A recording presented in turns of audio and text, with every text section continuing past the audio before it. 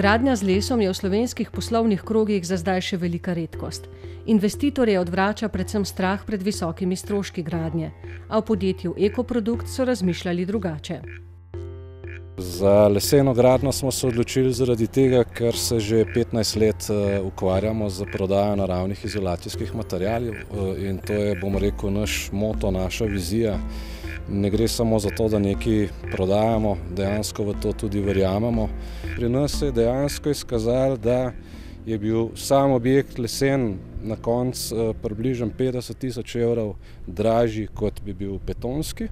S tem, da ko smo še računali, kakšne težave imamo z reševanjem toplotnih mostov in tako naprej, smo pri lesenem objektu pa na zemeljskih delih, na temeljni plošči in tako naprej pa dejansko privarčevali skoraj sto tisoč evrov. Lesena gradnja je cenovno torej popolnoma primerljiva s tradicionalno. Njene glavne prednosti pa se pokažejo ob uporabi. Sama stavba, glede na to, da je lesena, glede na to, da je izolirana s še dodatno z naravnimi izolacijskimi materiali, imamo mi, bom rekel, tukaj praktično izredno majhne toplotne izgube.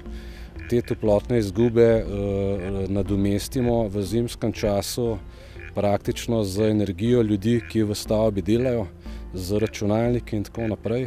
Se pravi, za dvesto kvadratnih metrov pisarniških prostorov porabimo približno dva tisoč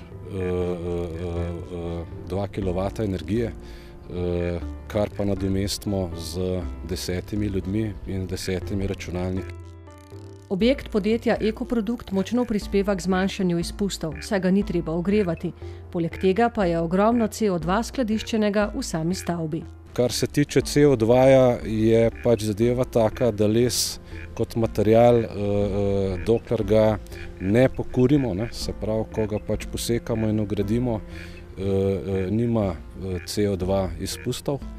Izpusti se bodo začeli dogajati, ko bo nekdo pač ta objekt sežgal.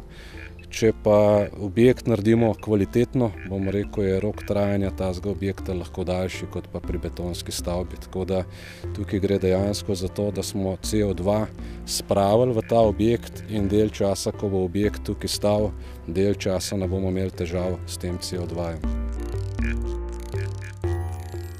Torej les dejansko ustvarja narava, lesni izdelki ga pa skladiščijo, in tako da lahko dejansko lesni izdelki so tisti, ki pripomorejo k znižanju emisije COdva in znižanju nivoja COdva. Armiranobetonske izdelke, ki nastanejo z veliko energije in emisije COdva, nadomestimo z lesnimi, smo še pa še nekaj več naredili.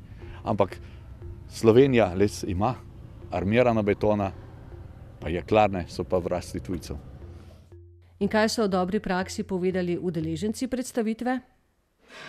že dlje časa se zanimam za te zadeve in pač vedel sem, da se da dosti prihraniti pri teh COdva izpustih. In mislim, da je to prihodnost, no, gradnje v naslednjih letih. Predvsem to, da Slovenija, to sem že prej vedela, ampak danes se mi je potrdilo, ima Slovenija neizmerno veliko potenciala v naravnem bogastvu, ke se ga da na različne načine tudi v, v svetu predstaviti in, in na določen način prodajati, ne. Najbolj se mi je to zanimivo zdelo, da se gradnja z lesom, ne, da se gradnja z lesom v bistvu razširja v Sloveniji, ne, da, da so tudi objekti v Sloveniji, ki se, ki so grajeni z lesom, ne, pa da da se ljudje in projektanti in investitorji, ne, da se to znanje širi, ne, da je zanimanje v Sloveniji za gradnjo z lesom, ne, to se mi zdi najbolj zanimivo.